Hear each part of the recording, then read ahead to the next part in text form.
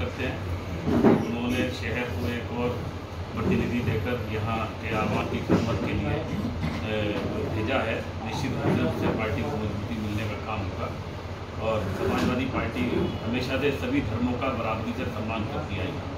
सर्वधर्म संभाव की उसी नीयत पर चलते हुए मौजूदा इस दौर में समाजवादी पार्टी ने विधानसभा के अंदर विधानसभा के बाहर मजबूती से इन बातों को रखा है।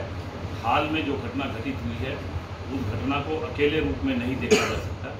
जिस तरह की घटना के रिएक्शन ये हुआ है निश्चित रूप से उसके लिए हम कह सकते हैं कि जो मांग करने के लिए स्पॉन्टेनियसली कुछ बच्चे चले गए तो उसके खिलाफ जिस तरह की कार्रवाई शासन के निर्देश पर मौजूदा तौर पर होने हो, हो रही है वो लोकतंत्र का गला घोटने के बराबर यानी कि कोई भी अपनी प्रोटेस्ट या अपनी बात ना रख सके। और मैं केवल इतनी बात कहना चाहता हूँ जो बात जिस बात को लेकर बच्चे और जिस बात को लेकर हिंदुस्तान की सरहदों से बाहर भी दूसरे मुल्कों ने भी हमारे मुल्क के आइन के अनुरूप चलने वाले उन तमाम मुद्दों को उठाने की कोशिश करने का काम किया, जो निशानदेही आज से पहले नहीं हुई। तो उस पर जो शासन का और सरकार का जवाब था कि कुछ फ्रिंज एलिमेंट मुझे समझ में नहीं आया कि उन फ्रिंज एलिमेंट्स को राष्ट्रीय प्रवक्ता किसने बनाया।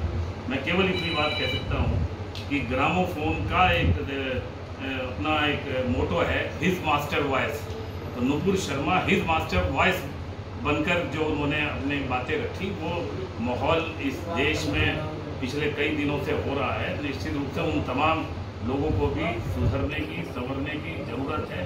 इस माहौल में समरसता कैसे ले आई जा सके, भारत की ये तहजीब और संस्कृति, जो गंगा जमुनी तहजीब है, वो सभी लोगों को साथ लेकर चलने की है, वो समन्वयकारी है, वो सामूहिकता में विश्वास रखती है, वो सभी लोगों को आत्मसात करने में विश्वास करती है। मैं समझता हूँ कि यही जो वैचारिक लड़ाई है, इस वैचारिक लड़ाई में आम, आवाम इस बात को समझ सकेगा कि उनका ध्यान दूसरी तरफ़ बांटकर उन्हीं की जेब में डाका डालने की कोशिश करने का काम किया जा रहा है।